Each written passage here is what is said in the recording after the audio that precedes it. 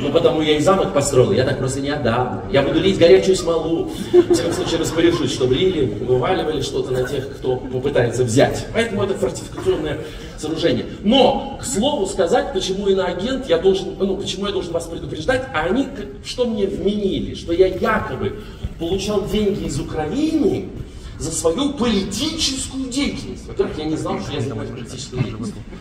Но это у них началось давно. Понимаете? И вот вы думаете, чего? Ну, казалось бы, я так же, как и многие, выступил против войны. Это нормальное состояние. Почему они ко мне так прикопались? А я вам скажу. Они ко мне давно прикопались.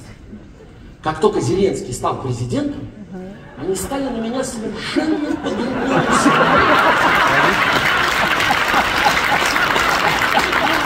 Я вот видел, я это чувствую. В их взгляде, ты что, сука, тоже собрался? Вот прям вот так. Простите.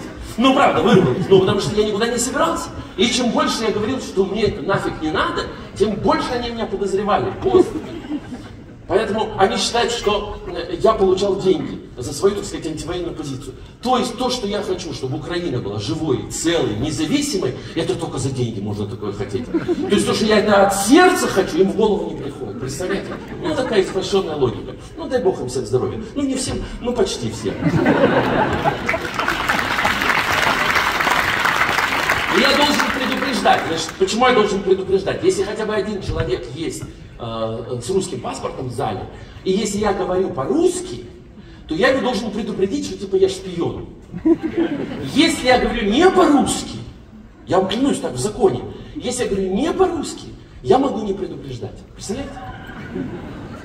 Бредятина какая, а? Поэтому сделаем так. Лабас вакарас, милей драуги. Sveiki, Vilnius.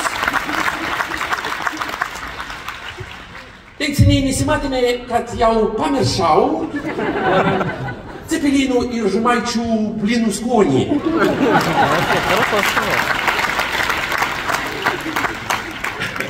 Але Борисовны, э, удар пожидаю а, Аллы Борисовны отвести э, э, швежо шокочу.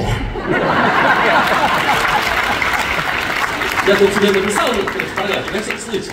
Ете води на торту, ете води на торту курью жмуна, деук карту обгало. Это даже вы не поняли. Ну, не важно.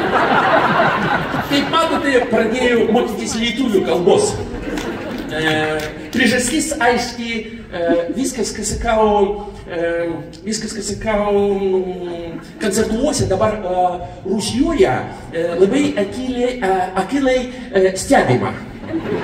Ypač Solovjov ir Simonian. Todėl šiandien e, dėl samokslo, e, samokslo kal- ka- kalbėsiu tik lietuviškai. Tik lietuviškai.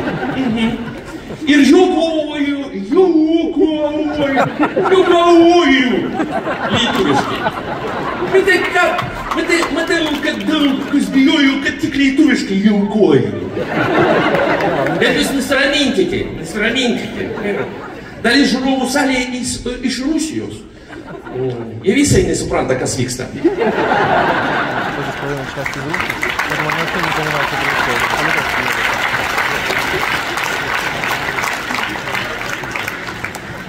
Atvirai aš nesuprantu. Kas sakau, viską, kas sakau. Неделю учил, а?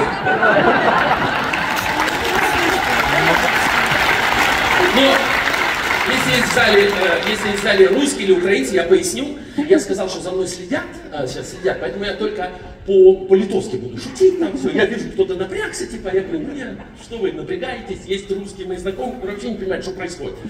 В Латвии я сказал, есть в зале русские, которые не понимают, что происходит. Ну, по-латышски только сказал. Ну и, кстати, обиделись русские, которые даже не были в зале. Я говорю, что вы обиделись? Если вы поняли, что я сказал по-латышски, то чего вы обиделись? Это же не про вас, я сказал про тех, кто не понял. А если вы не поняли, как вы могли обидеться? Вы же не поняли. Ну, слушайте, а что делать? Что делать? Я вообще, знаете, я выбирал, когда думал, куда, куда, э, куда уезжать, вот куда уезжать. Ну, э, э, это называют, я-то это на- называю уехал из России. В России пропагандисты называют это драпал, свалил, утек. Значит, ну, что только не, не написали. Но я выбирал между Израилем и Литвой. Я все думал, то ли мне в Израиль поехать, так сказать, потому что я еврей по маме, то ли по старшей дочке в Литву.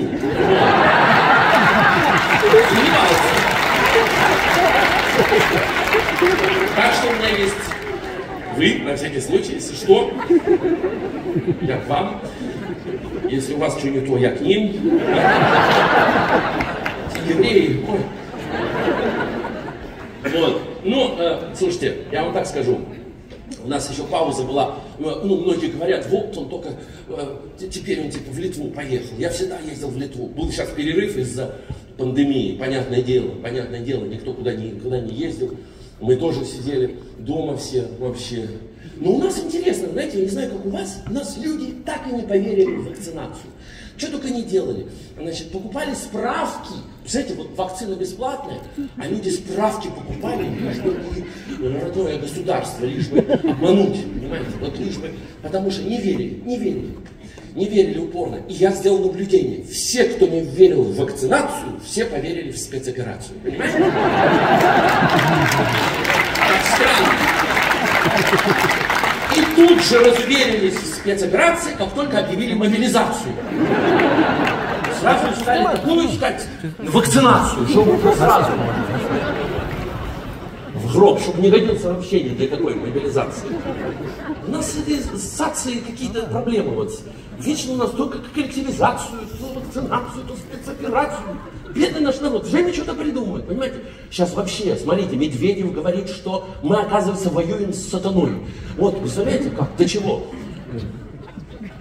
Дошло дело, с сатаной воюем, сатаной. Не Бензя нам, значит, говорит, что комары боевые, что украинцы сейчас распространяют боевых комаров.